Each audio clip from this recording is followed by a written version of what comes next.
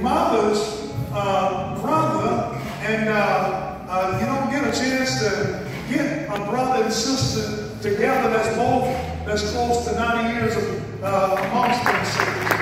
And uh, I'm going to ask him to stand. Uh, his name is Mr. Kyle, Kyle's wife. I call him Anka, and his daughter, brought him up, and we're just so grateful to have y'all in town. Uh, let me have a mic. Uh, sir, you want to have something to say? Uh, word of wisdom? Well, I don't know. It's on Uncle Cal. But uh, wisdom is my key. Just have a short or bad occasion in my family. People are my family. And uh, I love it. And I pray for you to continue to do things.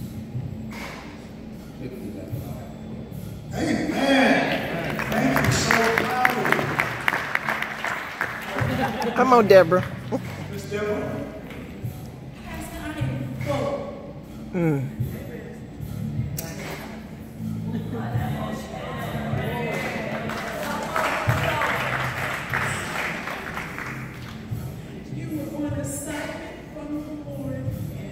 Day.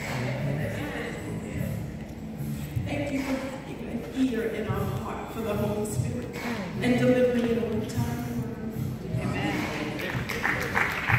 ask the Lord to continue to strengthen you and take care of my cousin, my sister, Yes.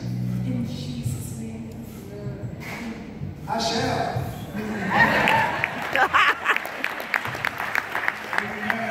Amen. We thank God for being with us. She's she's a retired police officer from New